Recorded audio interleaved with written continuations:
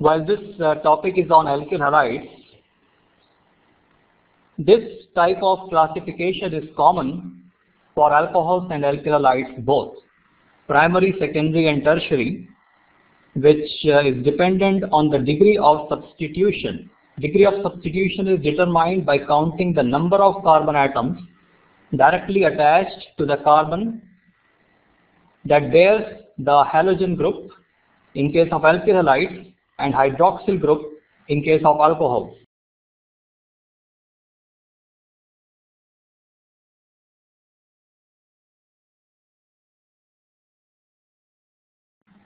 So first look at this carbon and see to how many carbons is it connected to. This carbon connected to either halide or alcohol, I mean OH, connected to only one carbon, primary, two carbons, secondary, three carbons, tertiary.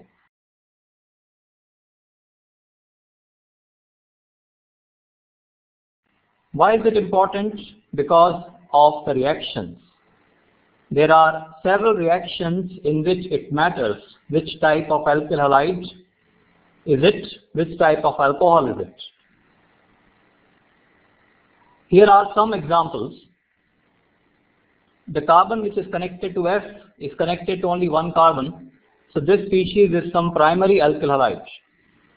Here, the carbon which is connected to Br is connected to two carbons, secondary alkyl halides. This is carbon connected to H, uh, connected to two more carbons, secondary alcohol.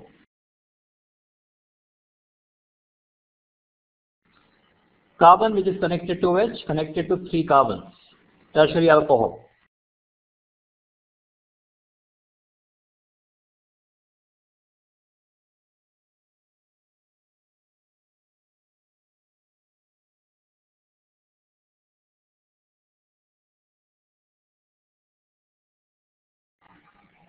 Now the properties uh, that these species show would depend on the bonding that they are having.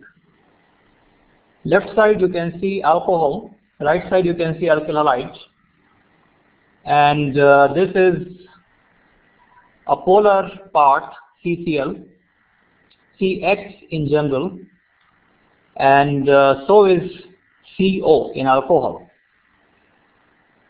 And because of polarity, you can expect many differences from hydrocarbons.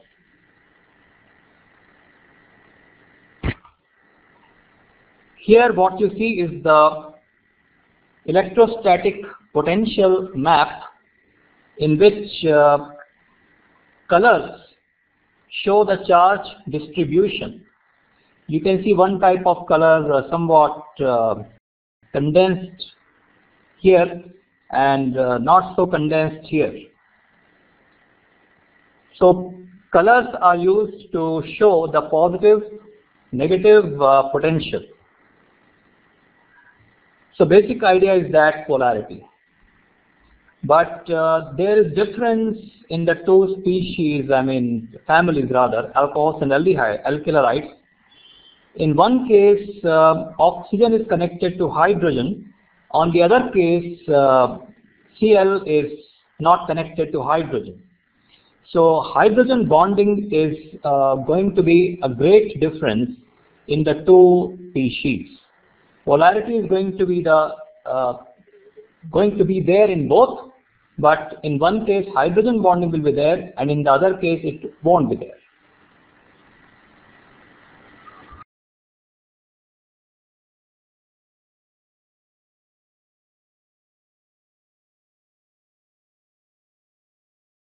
So what happens due to polarity? You know different types of forces. Van Waals forces which are there in alkanes. Then you have dipole-dipole, hydrogen bonding, etc. So dipole-dipole. And when you do have dipole-dipole forces, then what can they result in? How about boiling point comparison. Alkane, minus 42. Now, molecular masses are uh, almost comparable. Alkyl fluoride, minus 32. Now note that it is uh, highly polar. The CH bond is, uh, CF bond is highly polar. But still, you would uh, notice only 10 degree increase. Hydrogen bonding is the one which plays a very vital role in this. That, that's uh, what you see here. 78. That's the major jump. Right?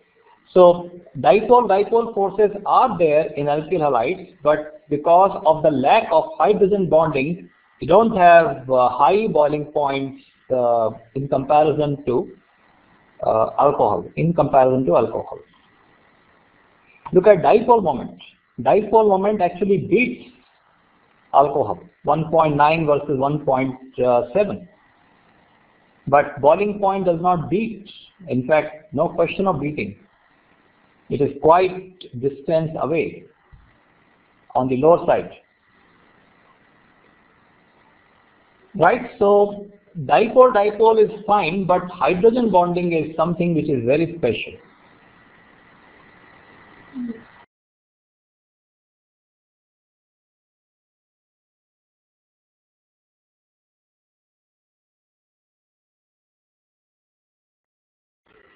So in alkanes, the story of minus 42 is that you have you don't have any dipole.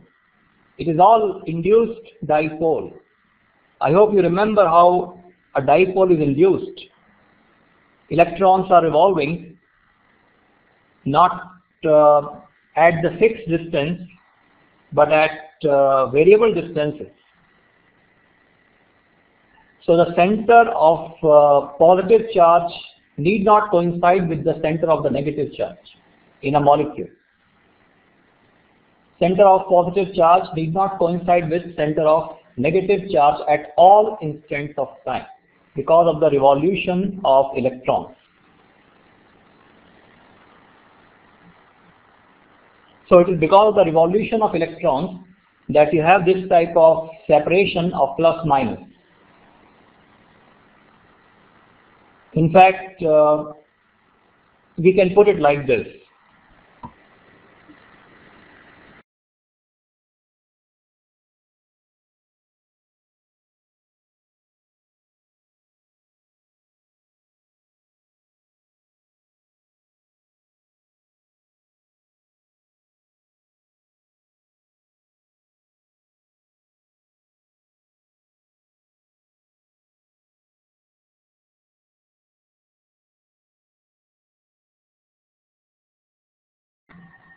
Suppose um, due to the motion of electrons, helium has got somewhat minus on the right side. Electrons are moving, right? And instantaneously it is possible that right side charge, uh, they go to the right side somewhat.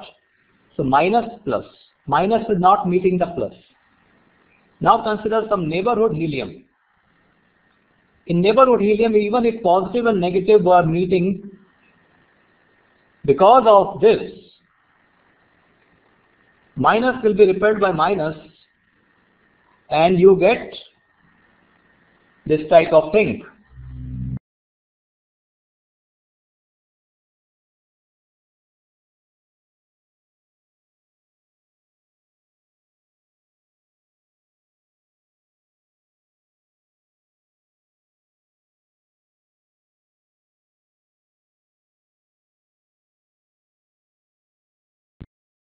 That's the key. Hydrogen bonding is stronger than any than other dipole-dipole attractions.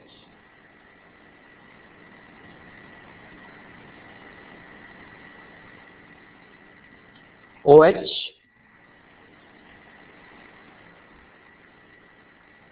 OH OH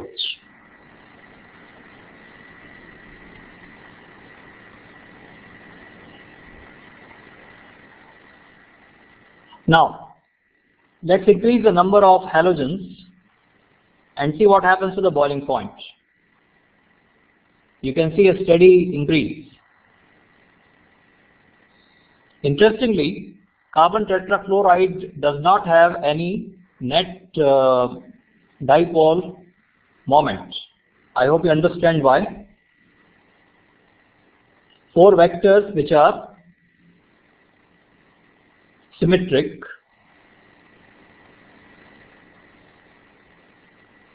four vectors which are symmetric would simply cancel. So CCl4 does not have a net uh, dipole moment. But look at its boiling point.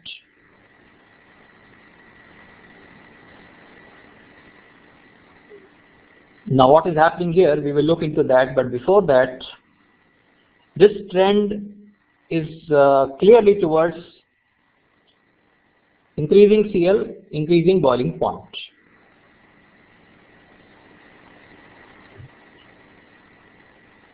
Now, why this?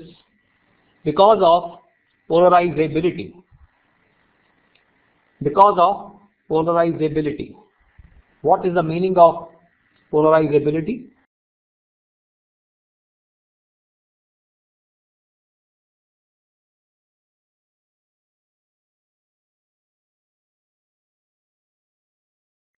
Yes, what is the meaning of polarizability?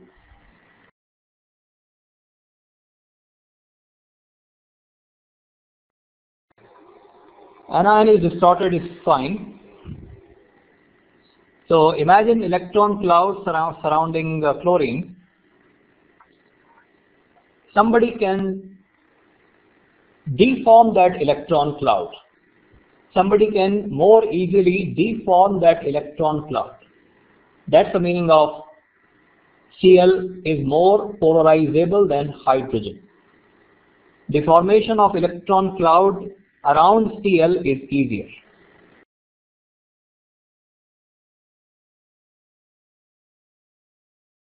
So think of it like this.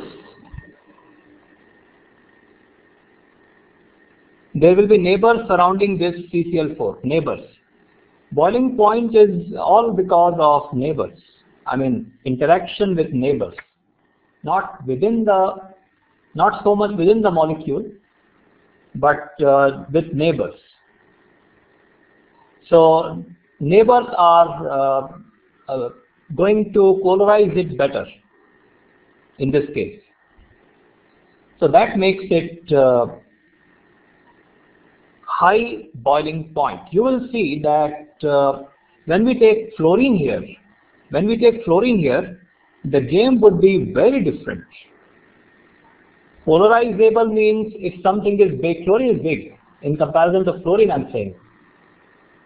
So if you have electrons which are away from you, fluorine nucleus would say that my electrons are away from me, so some enemy can uh, take them towards one side. Polarizable. In case of fluorine, fluorine will say that, well, my, my electrons, uh, fluorine's nucleus will say, my electrons are close to me, so I have greater control over them. So fluorine is not going to be uh, uh, so much polarizable. You won't find this trend in fluorine. Let's see. Yes, in fact, here it is. Look at that. Fluorine increase, uh, yes, boiling point increase, but then, but then minus 47 and look at this. Most electronegative elements fluorine and six of them are present. Yes overall CF3, CF3 would be uh, non-polar overall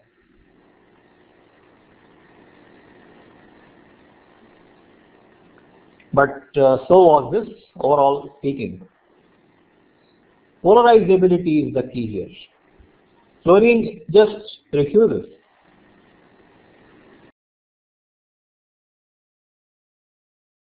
So fluorine is not very polarizable and therefore induced dipole, induced dipole forces decrease with increasing fluorine substitution. So the game is not just of dipole-dipole interaction. Game is not just of dipole-dipole interaction. The game is also of uh, induced dipole-induced dipole interaction. So the overall effect is that this is what happens in this case, and this is uh, this is what happens in this case.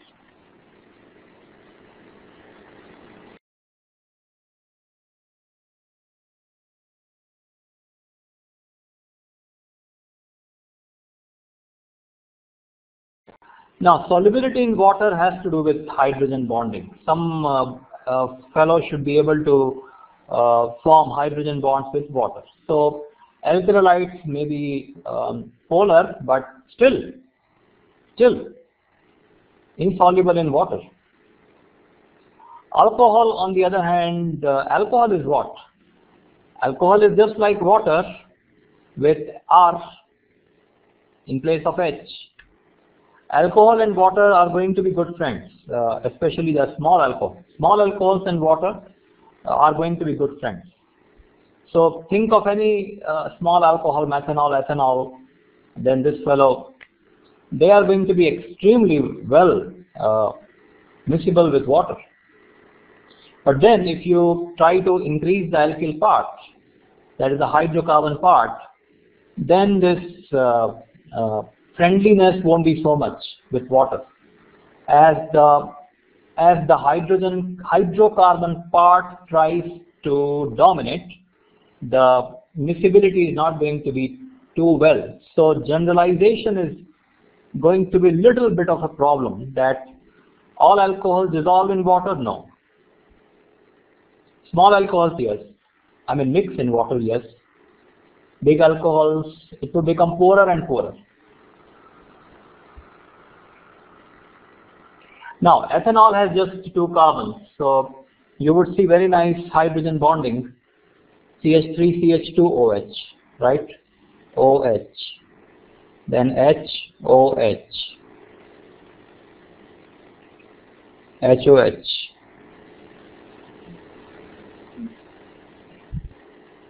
Now, minus plus, plus minus, plus minus.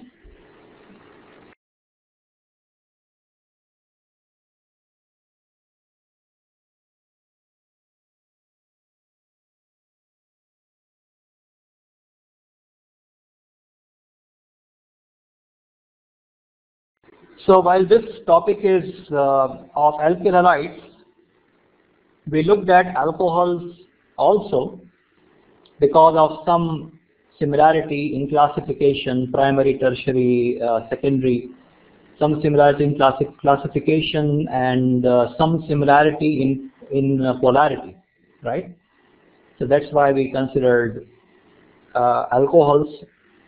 And in reactions also you will see some synergy in the two, alkyl halides and alcohols. Any questions up to this point let know.